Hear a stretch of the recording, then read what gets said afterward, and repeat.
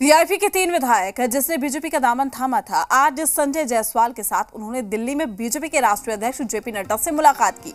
आपको बता दें, वीआईपी का दामन छोड़ने के बाद तीनों विधायक, राजू सिंह, सुवर्णा सिंह और साथी मिश्री लाल यादव ने बीजेपी ज्वाइन कर लिया था, जिसके बाद बिहार में अब बीजेपी सबसे बड़ी पार्टी बन गई।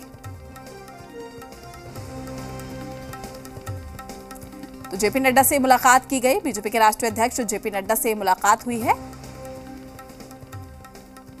वीआईपी से भारतीय जनता पार्टी में शामिल हुए तीनों विधायक आज दिल्ली में भारतीय जनता पार्टी के राष्ट्रीय अध्यक्ष जेपी नड्डा से मुलाकात किए। हमारे साथ भारतीय जनता पार्टी प्रदेश अध्यक्ष संजय जायसवाल, राजू सिंह जो वीआईपी से बीजेपी में आए मिश्रीलाल जी जो वीआईपी से बीजेपी में आए। आप सब देख रहे हैं कि पहले तो आपसे ही सवाल बनता आज राष्ट्रीय अध्यक्ष से मुलाकात कराए आपने तीनों विधायकों का। कैसी खुशी और कैसी मजबूती जो महसूस हो रहा है? भारतीय जनता पार्टी का कार्यकर्ता अपने राष्ट्रीय अध्यक्ष से मिलता है तो कैसे खुशी होती है? वह जवाब ये देंगे। इन्होंने इच्छा ज़ाहिर की कि हमें राष्ट्रीय अध्यक्ष जी से मिलना है। सौभाग्य से इस समय लोकसभा सेशन चल रहा था। तो मैंने मैं एक पुल का काम किया हूँ इनके और राष्ट्रीय अध्यक्ष के बीच में जो प्रदेश अध्यक्ष की जिम्मेवारी होती है। हमारे साथ राजू सिंह है मैं बस एक मिनट हाँ। अब आश्वस्त वापस भारतीय जनता पार्टी में शामिल हुए।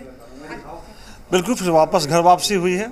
और घर वापसी के सिलसिले में उसी हमारे राष्ट्रीय अध्यक्ष जी से मुलाकात करना हम लोग लाजमी समझा इसलिए हम लोग राष्ट्रीय अध्यक्ष से आज मुलाकात करने आए हैं। मैं 2015 का भी चुनाव बीजेपी से लड़ा था और 20 में भी चुनाव बीजेपी से लड़ने का मन बनाया था और पार्टी संसदीय बोर्ड ने भी निर्णय लिया था जो आपको चुनाव लड़ना है।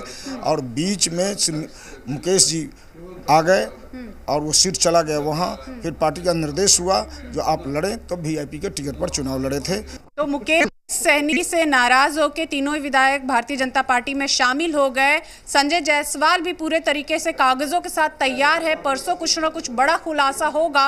वहीं पे तीनों विधायक आश्वस्त हैं, खुश हैं भारतीय जनता पार्टी में आके। और संभवतः मंत्री पद जो रिक्त होगा, उसमें नाम की चर्चाएँ चल रही है और इन्हीं में से कोई एक मंत्री होंगे और खुशी भी यहाँ पे देखने को बनती है। कैमरा पर्सन नरेंद्र के साथ ने हाजी मीडिया, दिल्ली।